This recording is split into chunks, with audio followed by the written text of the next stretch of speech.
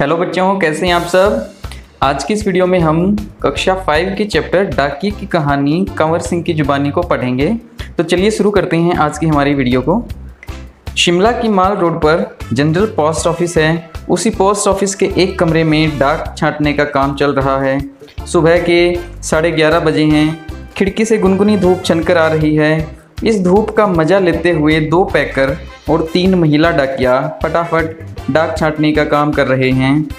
वहीं पर मैंने सरकार से पुरस्कार पाने वाले डाकियाँ कंवर सिंह जी से बात की। यही बातचीत आगे दी जा रही है। तो इस पाठ के जो राइटर हैं, जो लेखक हैं, वो बता रहे हैं कि ये जो घटना है, वो कहाँ की है? शिमला के माल रोड पे जो जनरल पोस्ट ऑफ़िस है, वहाँ पे है। वहाँ पे डाक छाटने का काम चल रहा है और वहीं पे जो है सरकार से पुरस्कार पाने वाले डाकिया, जिसका क्या नाम है, कंवर सिंह जी, उनसे लेखक ने बात की है। वो क्या बात की है, वही इस पाठ में आगे दी गई है। तो सबसे पहले लेखक उनसे पूछते हैं कि आपका शुभ नाम क्या है? तो डाकिया जवाब देता है, मेरा नाम कंवर सिंह है। मैं हिमाचल प्रदेश के शिमला ज़िले के नेरवा गाँव का निवासी हूँ। मेरी उम्र 45 साल है। तो अपना नाम जो है कंवर सिंह बताता है। हिमाचल प्रदेश के शिमला ज़िले का रहने वाला है और उसकी जो उम्र है वो 45 साल है 45 ईयर्स है। आपके परिवार में कौन कौन हैं? उनके बारे में कुछ बताइए। उनके फैमिली के बारे में पूछता है तो डाकिया उसको जवाब देता है, मेरे चार बच्चे हैं, तीन लड़कियाँ और एक लड़का। दो लड़कियों की शादी हो चुकी है। मेरा एक और बेटा भी था, वह मेरे गाँव में पहाड़ी से लकड़ियाँ लाते हुए गिर गया और जिससे उसकी मौत हो गई। तो एक लड़का जो है, उसकी डेथ हो चुकी है, उसके बारे में भी वो बता रहे हैं। आपके बेटे के साथ जो हुआ, उसका हमें बहुत दुख है। आपके इलाके में इस तरह की घटनाएँ क्या अक्सर होती हैं? तो लेखक उनसे पूछ रहा है कि आपके बेटे के साथ जो हुआ, उसका हमें काफ़ी दुख है, लेकिन क्या इस टाइप की जो घटनाएँ हैं, वो आपके एरिया में अक्सर होती रहती हैं? जी, ऐसी घटनाओं का होना असाधारण नहीं है। यहाँ पर हर साल तिरछी ढलानों या ढांकों से घास काटते हुए कई औरतें गिरकर मर जाती हैं। फिर भी यहाँ ऐसे ही रास्तों से चलना पड़ता है, क्योंकि दूसरे कोई रास्ते होते ही नहीं हैं। तो ये जो डाकिया है, कंवर सिंह जी, ये बता रहे हैं कि ये हमारी मजबूरी है और हर साल कई औरतें यहाँ से गिर जाती हैं। हमारे गाँव में अभी तक बस भी नहीं पहुँच पाती बस नहीं पहुँच पाती है। हिमाचल में हज़ारों ऐसे गाँव हैं जहाँ पैदल चलकर ही पहुँच सकते हैं और वो बता रहा है कि हमारे गाँव में अभी तक बस भी नहीं पहुँच पाती हैं क्योंकि रास्ते ही इतने ख़राब हैं, वहाँ तक बस का पहुँचना अभी तक पॉसिबल नहीं हो पाया है। फिर आपके बच्चे पढ़ने कैसे जाते होंगे? मेरे बच्चे गाँव के स्कूल में पढ़ने जाते हैं। स्कूल लगभग पाँच किलोमीटर दूर है। मेरी एक लड़की दसवीं तक पढ़ी है, दूसरी बारहवीं तक, तीसरी लड़की बारहवीं कक्षा में पढ़ रही है और बेटा दसवीं में पढ़ता है। तो बोल रहा है कि मेरे बच्चे गाँव के स्कूल में ही पढ़ने जाते हैं, जो लगभग पाँच किलोमीटर दूर है और फिर वो अपने बच्चे के बारे में बताता है कि कौन सा बच्चा किस क्लास में पढ़ रहे हैं। आप जहाँ काम करते हैं, वहाँ आपके अलावा और कौन कौन हैं? क्या आपको डाकिया ही कहकर बुलाते हैं? तो फिर वो डाकिया उसको जवाब देता है, पहले मैं भारतीय डाक सेवा में ग्रामीण डाक सेवक था। ग्रामीण मीन्स कि जो गाँव में काम करते हैं। अब मैं पैकर बन गया हूँ। पैकर कौन होता है? जो पैक करते हैं डाक को। पर हूँ वही नीली वर्दी वाला डाक सेवक। यानी कि पहले मैं ग्रामीण डाक सेवक था गाँव में और अब मैं पैकर बन गया हूँ, लेकिन हूँ मैं वही नीली वर्दी वाला है डाक सेवक। डाक सेवक को क्या क्या करना होता है? मुझे मुझे बहुत कुछ करना होता है। चिट्ठियाँ रजिस्ट्री पत्र पार्सल, बिल, बूढ़े लोगों की पेंशन आदि छोड़ने गाँव गाँव जाता हूँ। तो वो ये सारे काम वो उसको करने पड़ते हैं डाकिए को, कंवर सिंह को।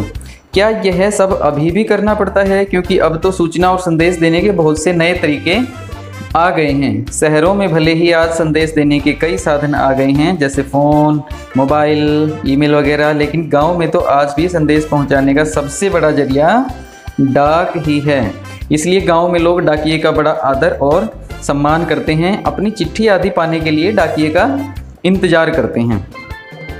हमने सुना है कि हमारी डाक सेवा दुनिया की सबसे बड़ी डाक सेवा है। यह भला कैसे?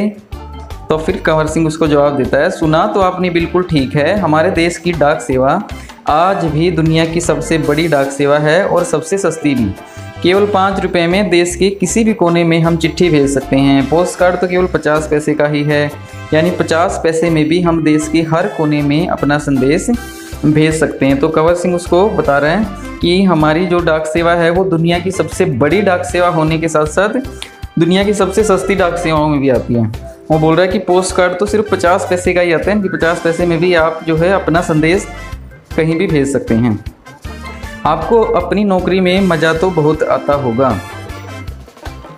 तो कंवर सिंह उसको जवाब देता है, मुझे अपनी नौकरी बहुत अच्छी लगती है। जब मैं दूर नौकरी करने वाले सिपाही का मनी ऑर्डर उसके घर पहुंचाता हूँ तो उसके बूढ़े माँ बाप का खुशी भरा चेहरा देखते ही बनता है। ऐसे ही जब किसी का रजिस्ट्री पत्र पहुंचाता हूँ, जिसमें कभी रिज़ल्ट कभी नियुक्ति पत्र होता है तो लोग बहुत खुश होते हैं। बूढ़े दादा और बूढ़ी नानी तो पेंशन के पैसे मिलने पर बहुत ही खुश होते हैं। छः महीनों तक वे मेरा इसके लिए इंतज़ार करते हैं। हिमाचल में बूढ़े लोगों को पेंशन हर छः महीनों के बाद इकट्ठी ही दी जाती है। तो वो बता रहा है, कंवर सिंह कि मुझे अपनी नौकरी करने में बहुत मज़ा आता है। मैं इन्जॉय करता हूँ, क्योंकि कभी जो है सिपाही के घर जाना होता है तो उसके बूढ़े माँ बाप खुश होते हैं। कभी किसी का जो है रिज़ल्ट देना होता है। कभी किसी बूढ़े दादा की, बूढ़ी नानी की पेंशन होती है तो जब उसको पेंशन मिलती है तो वो लोग बहुत खुश होते हैं और उसको आशीर्वाद भी देते हैं। क्या आप शुरू से इसी डाकघर में काम कर रहे हैं? शुरू में तो मैंने लाहौल स्पीति ज़िले के किब्बर गाँव में तीन साल तक नौकरी की है। यह हिमाचल का सबसे ऊँचा गाँव है।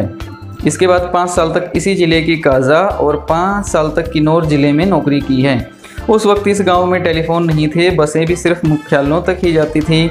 अभी भी ऐसे कई गाँव हैं जहाँ न तो बस जाती है और न ही वहाँ टेलीफोन है। ऐसी जगह में ग्रामीण डाक सेवक का बहुत मान किया जाता है। तो कंवर सिंह उसको बताता है कि शुरू में लाहौल स्पीति ज़िले में किब्बर गाँव है, वहाँ मैंने तीन साल नौकरी की। और ये जो किब्बर गाँव है, ये हिमाचल का सबसे ऊँचा गाँव भी है। उसके बाद जो है पाँच साल इसी ज़िले के काजा गाँव में और फिर उसके बाद पाँच साल जो है किन्नौर ज़िले में भी उसने नौकरी की है। आप पहाड़ी इलाके में रहते हैं, ज़ाहिर है डाक पहुँचाना आसान काम तो नहीं होगा। हाँ मुश्किलें तो आती ही हैं। जब मैं किन्नौर ज़िले के मुख्यालय रिकॉन्ग पीओ में नौकरी करता था तो सुबह छः बजे मेरी ड्यूटी शुरू हो जाती थी। मैं छः बजे सुबह शिमला जाने वाली बस में डाक का बुरा रखता था और रात को आठ बजे शिमला से आने वाली बस से डाक का बुरा उतारता था। पैकर को ये सब काम करने पड़ते हैं। किन्नौर और लाहौल स्पीति हिमाचल प्रदेश के बहुत ठंडे तथा ऊँचे ज़िले हैं। इन ज़िलों में अप्रैल महीने में भी बर्फ़बारी हो जाती है। बर्फ़ के चलते हुए पैरों को ठंड से बचाना पड़ता है, वरना स्नो बाइट हो जाते हैं। जिससे पैर नीले पड़ जाते हैं और उनमें गैंग्रीन हो जाती है, जिससे उंगलियाँ झड़ सकती हैं। इन जिलों में मुझे एक घर से दूसरे घर तक डाक पहुँचाने के लिए लगभग 26 किलोमीटर रोज़ाना पैदल चलना पड़ता था। हिमाचल में एक गाँव से दूसरे गाँव की दूरी लगभग चार या पाँच किलोमीटर तक होती है। हिमाचल के गाँव छोटे छोटे होते हैं। एक गाँव में बस आठ से दस या कभी कभी छः सात घर ही होते हैं, इसलिए चलना काफ़ी पड़ता है। चलना तो खैर हमारी आदत में ही शामिल हो चुका है। ग्रामीण डाकिए की ज़िंदगी में तो चलना ही चलना है। तो वो इन सारी प्रॉब्लम्स के बारे में बताता है कि कैसे बहुत ही ऊँचे और ठंडे ज़िलों में, ठंडे गाँव में उसको जाना पड़ता है। वहाँ स्नो बाइट की समस्या गैंग्रीन की प्रॉब्लम पैदल चलना, वो सारी प्रॉब्लम इनको आती है। आपने बताया था कि पहले आप डाक सेवक थे, अब पैकर हैं। इसके आगे भी कोई प्रमोशन है क्या? पैकर के बाद डाकिया बन सकते हैं। बस एक इम्तिहान पास करना पड़ता है। अभी तो काम के हिसाब से हमारा वेतन काफ़ी कम रहता है। सारा दिन कुर्सी पर बैठकर काम करने वाले बाबू का वेतन कहीं ज़्यादा होता है। पैकर का वेतन बाबू के जितना ही हो जाता है। अब तो डाकिए की नौकरी में लगना भी बहुत मुश्किल हो चुका है। हम में से जितने डाकिए रिटायर हो चुके हैं, उनकी जगह नए डाकियों को नहीं रखा जा रहा। इससे पुराने डाकियों पर काम का बोझ दिन प्रतिदिन बढ़ता ही जा रहा है। न जाने आने वाला समय कैसा होगा। तो ये अपनी जो प्रॉब्लम है, उसको भी शेयर कर रहा है कि पुराने जो डाकिए रिटायर हो रहे हैं, उसकी जगह पे नए डाकियों को नहीं रखा जा रहा है काम पे, जिससे पुराने जो डाकिए हैं, जो भी काम पे हैं, उन पे जो बोझ है काम का, वो बढ़ता जा रहा है। काम के दौरान कभी कोई बहुत ख़ास बात हुई हो एक घटना आपको सुनाता हूँ, मेरा तबादला, मेरा जो ट्रांसफ़र है, वो शिमला के जनरल पोस्ट ऑफ़िस में हो गया था। वहाँ मुझे रात के समय रेस्ट हाउस और पोस्ट ऑफ़िस चौकीदारी का काम दिया गया था। यह उन्नीस सौ अट्ठानवे की बात है 29 जनवरी को रात लगभग साढ़े दस बजे का समय था। बाहर से किसी ने पोस्ट ऑफ़िस का दरवाज़ा खटखटाया, मैंने पूछा, कौन है? तो जवाब आया, दरवाज़ा खोलो, तुमसे बात करनी है। मैंने दरवाज़ा खोला तो अचानक पाँच छः लोग अंदर घुसे और मुझे पीटना शुरू कर दिया। मैंने पूछा, क्यों पीट रहे तो हो सॉरी क्यों पीट रहे हैं? तो उन्होंने कोई जवाब नहीं दिया। सारे ऑफ़िस की लाइटें बंद कर दी। इससे पहले कि मैं कुछ समझ पाता, मेरे सिर पर किसी भारी चीज़ से कई बार मारा, जिससे मेरा सिर फट गया। मैं लगातार चिल्लाता रहा, उसके बाद मैं बेहोश हो गया और मुझे कुछ भी पता नहीं चला। अगले दिन अगले दिन जब मुझे होश आया तो मैं शिमला के इंदिरा गांधी मेडिकल कॉलेज के अस्पताल में दाखिल था। सिर में भयंकर दर्द हो रहा था। उन दिनों मेरा सत्रह साल का बेटा मेरे साथ ही रहता था। उसी से पता चला कि मेरे चिल्लाने की आवाज़ सुनकर लड़का और ऑफ़िस के दूसरे लोग जो नज़दीक ही रहते थे दरवाज़ों के शीशे तोड़कर अंदर आए और मुझे अस्पताल पहुँचाया। मेरे सिर पर कई टाँके लगे थे उसकी वजह से आज भी मेरी एक आँख से दिखाई नहीं देता है। तो ये अपनी घटना वो बता रहा है कि कैसे वो शिमला के पोस्ट ऑफ़िस में आ, उसकी चौकीदारी की ड्यूटी लगी थी और रात को कैसे चार पाँच लोग आए और उसको मारना शुरू कर दिया। और जब उसको होश आया तो वो अपने आप को उसने हॉस्पिटल में पाया। सरकार ने मुझे जान पर खेलकर डाक की चीज़ें बचाने के लिए बेस्ट पोस्टमैन का इनाम दिया। यह इनाम 2004 में मिला। इस इनाम में पाँच सौ रुपये और प्रशस्ति पत्र दिया जाता है। मैं और मेरा परिवार बहुत खुश हुए। आज भी मैं गर्व से कहता हूँ, मैं बेस्ट पोस्टमैन हूँ। और इसके जो लेखक हैं वो हैं प्रतिमा शर्मा जी। प्रतिमा शर्मा जी ने लिखा है।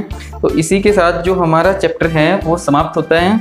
आई होप कि आपको काफ़ी जानकारी इसमें मिली होगी, बहुत अच्छा आपको लगा होगा।